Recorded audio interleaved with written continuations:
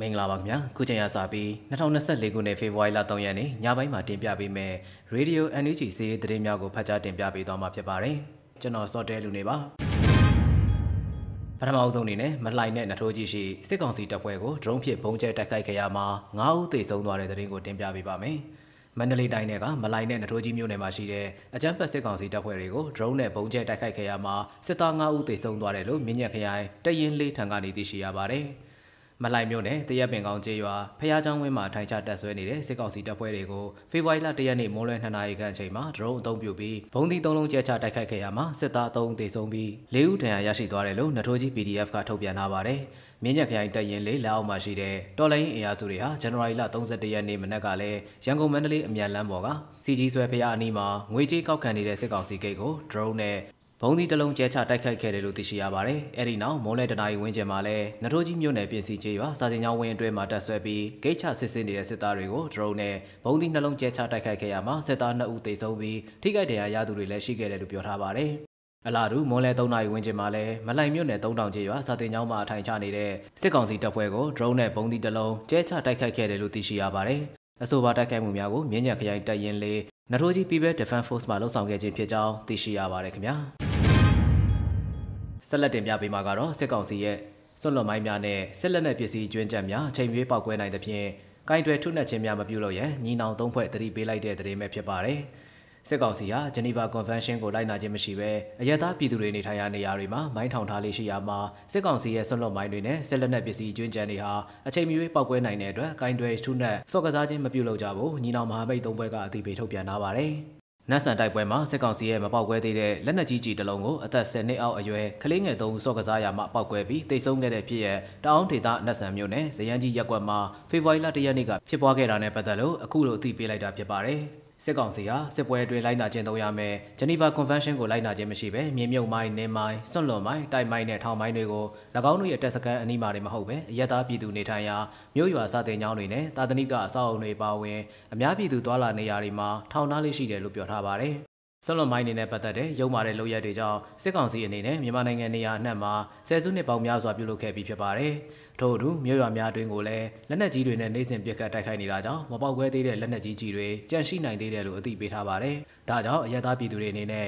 တိုက်ပွဲဖြစ်ပွားရာနေရာတွေနဲ့စစ်ကောင်စီဘက်ကလက်နက်ကြီးတွေနဲ့ရန်တမ်းပစ်ခတ်နေတဲ့နေရာတွေကိုမလွှဲမရှောင်သာသွားရမယ်ဆိုရင်တတိထားသွားလာကြဖို့ညီနောင်မဟာမိတ်သုံးဘက်ကအသိပေးတိုက်တွန်းထားပါတယ်ခင်ဗျာ။ ရခိုင်ပြည်နယ်စကားခကိုလက်အောက်ခံတရင်အလုံးသိမ့်ပတ်ရရှိနိုင်ရေးအေးထိုးစစ်ဆင်နေဟုညီနောင်သုံးခွဲပြောကြားလိုက်တဲ့သတင်းကိုဆက်လက်တင်ပြပေးသွားပါဦးမယ်။ရခိုင်ပြည်နယ်ကကြောက်တော်မြောက်ဦးနဲ့မင်းပြမြို့နယ်မှာရှိတဲ့အမတ်ကိုစစ်စင်ရေးကုကဲမှုဌာနချုပ်စကခကိုလက်အောက်ခံတရင်အလုံးကိုသိမ့်ပိုက်နိုင်ဖို့ရခိုင်တပ်မတော်အေးကထိုးစစ်ဆင်တိုက်ခိုက်နေတယ်လို့ညီနောင်မမိတ်သုံးဘက်ကအသိပေးပြောကြားလိုက်ပါတယ်။တိတုံညာနှစ်ခွန်စစ်စင်ရေး69ရက်မြောက်စစ်ရေးခြေနေတွေကိုဖော်ပြရမှာစစ်ရေးအရှိန်မြင့်နဲ့ရခိုင်ဒေသတွင်းစစ်ရေးခြေနေကိုအသိပေးလိုက်တာဖြစ်ပါတယ်။ ရခိုင်ပြည်နယ်မှာစကားခကိုလာအောက်ခံတရင်စရင်ရှိပြီးကြောက်တော်မြောက်ဦးနဲ့မင်းပြမြို့နယ်မှာရှိတဲ့စစ်ကောင်စီခြေဆိုင်တရင်တွေကတင်ပိုက်ဖို့ကြံနေသေးတဲ့ခမရတရင်ချိုကိုအပိတိုက်သိမ်းယူနိုင်ဖို့ရခိုင်တပ်မတော် AA ကထိုးစစ်ဆင်တိုက်ခိုက်နေတယ်လို့ဆိုထားပါတယ်ရခိုင်တပ်မတော် AA ဟာပြီးခဲ့တဲ့တပတ်အတွင်းစကားခကိုလာအောက်ခံရှိတဲ့ချင်းမြန်တရင်တွေဖြစ်တဲ့မြောက်ဦးမြို့အခြေဆိုင်ခမရ940မင်းပြအခြေဆိုင်ခမရ380နဲ့ကြောက်တော်အခြေဆိုင်ခမရ304တို့ကိုတင်ပိုက်ထားပြီးဖြစ်ပါတယ်။ ရခိုင်ဒေသအတွင်းစစ်ရေးအခြေအနေကိုသိပေးရမှာတော့ရန်ပြဲကျွန်းပေါ်ကရန်ပြဲမြို့နေရာအနှံ့မှာတိုက်ပွဲတွေဖြစ်ပွားနေပြီးစစ်ကောင်စီဘက်ကလေကြောင်းရေကြောင်းကနေလက်နက်ကြီးတွေနဲ့အဆက်မပြတ်ပစ်ခတ်နေတယ်လို့အသိပေးထားပါတယ်။ ဒေသတွင်းစစ်ရေးအရင်မြစ်တွေပြောဆိုချက်အရရန်မြမြို့အနီးတစ်ဝိုက်မှာတပ်ဆွဲထားတဲ့စစ်ကောင်စီတပ်စခန်းတွေဟာရခိုင်တပ်မတော်ရဲ့ဝန်းရံပိတ်ဆို့ခြင်းကိုခံထားရတယ်လို့သိရှိရပါတယ်။ဒါကြောင့်စစ်ကောင်စီတပ်တွေဟာရမ်းမြမြို့ကိုမြို့ပြက်လိုဖြစ်စေဆိုတဲ့ရည်ရွယ်ချက်နဲ့ Jet Fighter နဲ့နှစ်ကြိမ် Mi-35 ရဟတ်ယာဉ်နဲ့၄ကြိမ်လာရောက်ပုံကျဲတိုက်ခိုက်ခဲ့တဲ့အပြင်တပြိုင်တည်းမှာပဲတန်းချောင်းဝမှာရှိနေတဲ့စစ်သည်မောတွေကလည်းမြို့နီးတဝိုက်လက်နက်ကြီးနဲ့ဆယ်ကြိမ်ထက်မနည်းပစ်ခတ်တိုက်ခိုက်ခဲ့တယ်လို့ထုတ်ပြန်ထားပါတယ်ခင်ဗျာ မြင်းကြံမြို့နယ်စံပြကျေးရွာရှိစစ်ကောင်စီတပ်ကိုတိုက်ခိုက်မှုမှာ၄ဦးသေဆုံးပြီးတနက်လေးလက်သိမ်းဆည်းရရှိခဲ့တဲ့တဲ့ရင်ကိုတင်ပြသွားပါမယ်